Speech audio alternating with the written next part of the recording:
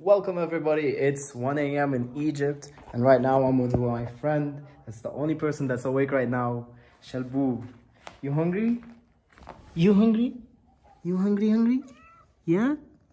What else? Let's get you some food, buddy. Let's get you some food. Don't scratch me, please. Oh shit. this happened yesterday, so let's hope nothing happens.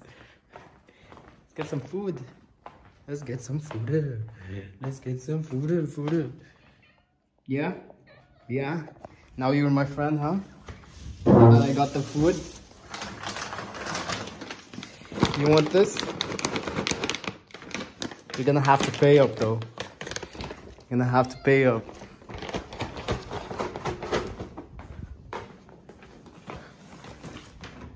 Look at how she runs. okay. I got you, I got you. Wait.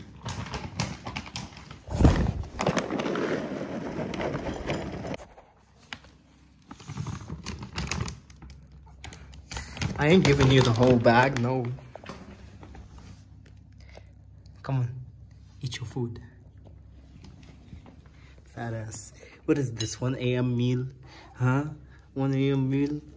I know it's uh, unhealthy, but even though I've been criticizing the cat, I'm about to have like a 1 a.m. meal because uh, I need to that deep, deep sleep if I want to wake up early tomorrow. So screw it. We're taking cheat codes today.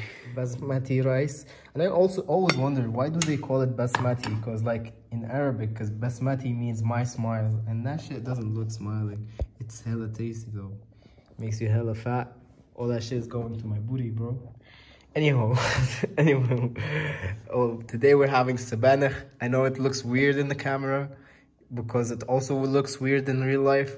Um, sabanach is basically um, shit. Sabanach is basically uh, favorite food. Um, for those of you who don't know what who Popeye is or what, what, what I'm talking about, um, is spinach. Um, and this is meat within it. Actually, shit is hella tasty for, it's, it's, it's hella tasty for how it looks. You know what I'm saying? It really, really is quite a tasty, tasty meal. Shit, that's not the cover. yeah, I need to stop eating at 1 a.m., but it is what it is. It is what it is. I do eating an Egyptian meal if I am not dressed up in a full Egyptian costume. So I'm about to smack on this food while I um, while I'm wearing this traditional clothes thing, and um, hopefully I don't get it twisted and I ruin the food. I ruin my clothes. Screw the food. No, no, no screwing food. Unless if you're into that shit, then screw it. Screw the food.